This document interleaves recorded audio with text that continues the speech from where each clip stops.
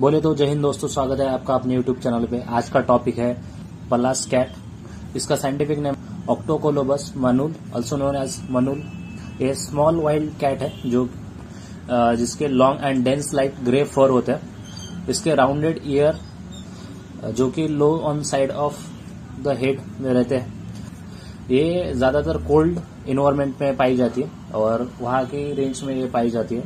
It is well camouflaged and adapted to the cold continental climate in the native range which receive little rainfall and experience a wide range of temperature.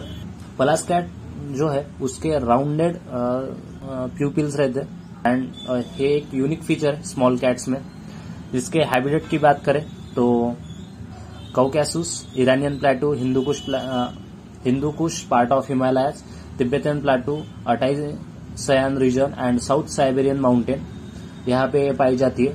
और rocky mountain grassland and shrubland where snow cover below 15 to 20 centimetre इसका जो shelter रहता है, वो rock क्रेविज and burrows में रहता है। इनकी जो फीमेल रहती है, वो कम से कम दो से छह कीटन तक जन्म दे सकती है।